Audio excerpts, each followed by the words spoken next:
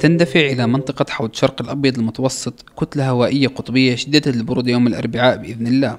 ومترافقة مع تشكل عدة منخفضات جوية وتستمر حتى نهار السبت. هذه الكتل القطبية ستساهم في انخفاض هائل وملموس جدا بالحرارة خاصة على شمال غرب المملكة اعتبارا من نهار الخميس. وتترافق مع تساقط زخات من الأمطار المتفرقة على منطقتي تبوك وشمال غرب المملكة وتتحول هذه الهطولات إلى ثلجية على المرتفعات الجبلية. تنشط الرياح المثيرة للغبار الذي تؤدي إلى انخفاض كبير في مدى الرؤية الأفقية وذلك على مختلف مناطق المملكة بما فيها العاصمة الرياض والمناطق الغربية وخاصة يومي الأربعاء والخميس.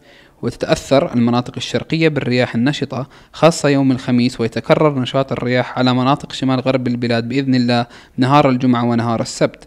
ويعود سبب ذلك إلى اختلاف قيمة الضغط الجوي الذي يسببها تشكل المنخفض الجوي.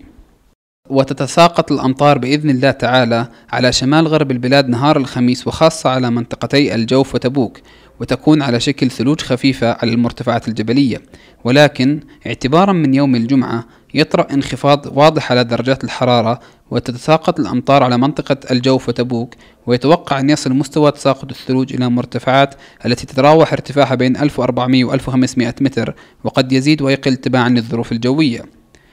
ومن المتوقع أن تتساقط الأمطار بإذن الله تعالى على وسط القطاع الغربي وخاصة سواحلها اعتبارا من نهار الخميس. تمتد حتى شمال الوسطى ومنطقتي القسيم وجنوب شرق حائل وتمتد هذه الأمطار حتى شمال شرق السعودية ودولة الكويت.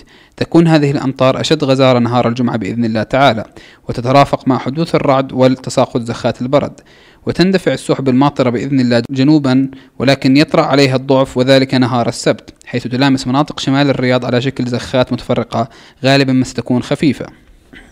تتساقط الثلوج على المرتفعات الجبلية التي يزيد ارتفاعها عن 1500 متر نهار الخميس في منطقة تبوك حيث يتوقع أن تصل على شكل زخات خفيفة على قمم مرتفعات اللوز ولكن اعتبارا من نهار الجمعة ونتيجة لتدفق رياح رطبة شديدة البرودة نحو مرتفعات تبوك سيشتد تساقط الأمطار والثلوج الكثيفة فوق المرتفعات الجبلية التي يزيد ارتفاعها عن 1400 متر.